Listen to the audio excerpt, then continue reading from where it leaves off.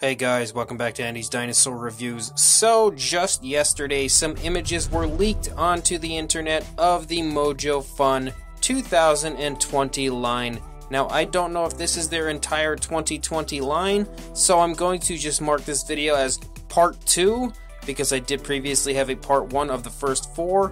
So, we're going to run through each and every one of these figures that just were leaked onto the internet. So we're going to start with the very first one, and that is a Brontosaurus. And I really, really love this figure. It is absolutely mind blowing to me just how much Mojo Fun has improved over the past few years, and just how beautiful of a job they are doing on their 2020 line. I think the sculpt on this is fantastic. The paint is also incredibly well done. Again, on promotional images, it's not exactly a perfect idea of how exactly the paint job will look and everything. You won't really be able to tell until you do see your figure in person, but honestly, from what I can see here, this is really well done. I think that the paint scheme looks perfectly like the type of paint I would like on a sauropod because me personally, a lot of people may not agree, but I like kind of duller, more darker coloration on my sauropods, and that's exactly what I like here about this one. It's got a lot of nice dark grays and stuff on it, with at the same time kind of some lighter coloration, but I think it all looks really natural. The sculpt looks beautiful, and this is definitely one of the top figures for 2020 from Mojo, in my opinion, as far as what I'm excited about. Then they are re-releasing a Baryonyx. As you can see, it's obviously not the same figure that we had previously. This is a new sculpted Baryonyx, and I think it looks really quite nice. Definitely a beautiful paint job on it. I really love the greens and the kind of squiggly black lines that come down from the back along with that light coloration. Really natural looking, beautiful greens. I love that tone of green on this figure and then you can see there's some red up there on the top of the head. This is another figure that I really won't be able to tell just how nice it is until I see it in person, but I think Mojo, as far as last year's line, did a great job of matching up the colors on their actual factory products in comparison to what we saw in the promotional images, so I'm certain this one will show up looking really beautiful just like you see here. Then we've got one that's kind of causing some controversy because this is their new T-Rex, or at least I believe it is. However, you can see that it definitely has a very strong likeness to the running Papo T-Rex.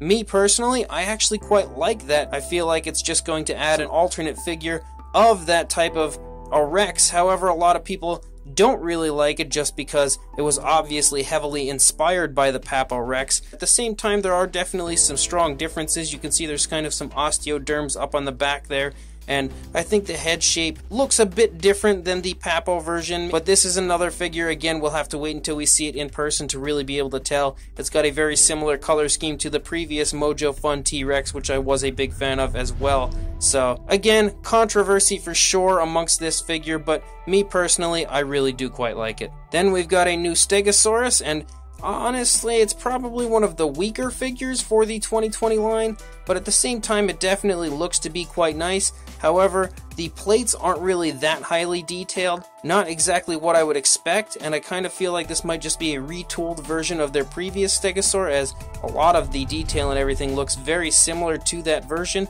However, I really do quite like the paint scheme on it. I think it looks very flashy, but at the same time, pretty darn natural for a Stegosaurus. So this one's kind of 50-50 for me. I do like it, but just not as much as the others. Then we have a Brachiosaurus, and I don't know for sure if this is a repainted Brachiosaurus or a totally new sculpted Brachiosaurus, as I don't have their previous Brachiosaurus that they had out. However, I really do quite like this one.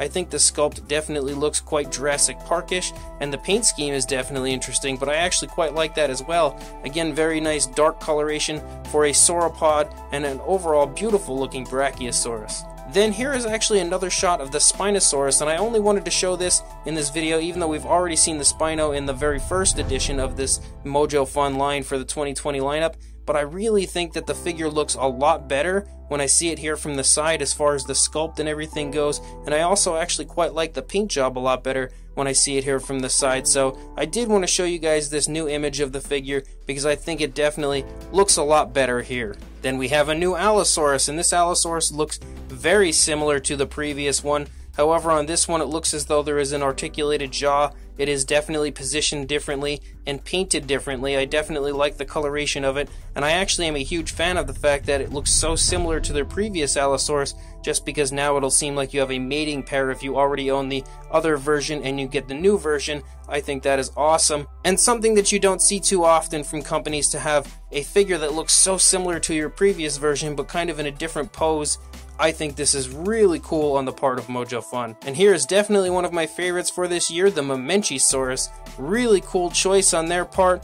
Again, I don't know how exactly accurate it is, but at the same time, it does have such a very cool, incredibly striking appearance to it. I love pretty much everything on this figure. The color again looks fantastic for a sauropod. The sculpt looks really cool. I'm quite interested to see just what the size of this figure is and everything, and I am really, really looking forward to this one. And then the final is the Ankylosaurus, and I really do think it's a pretty nice looking figure, but it's not quite in comparison to what the others have been as far as beauty goes. It's pretty darn nice, I will say that. I definitely quite like the paint job, and the sculpt looks pretty good overall. He's a very happy looking Ankylosaurus. Again, maybe not the most scientifically accurate, but at the same time, I'm such a dinosaur nerd and I'm not picky in any way, so scientific accuracy is never high up on my list, unfortunately, probably.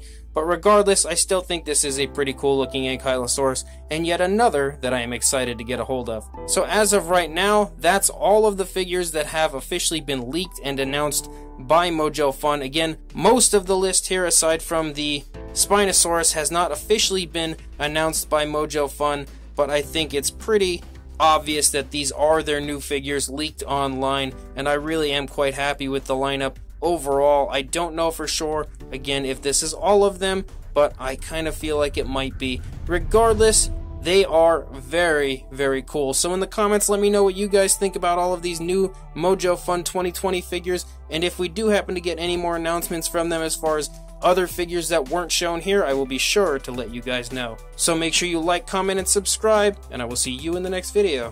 Thanks for watching.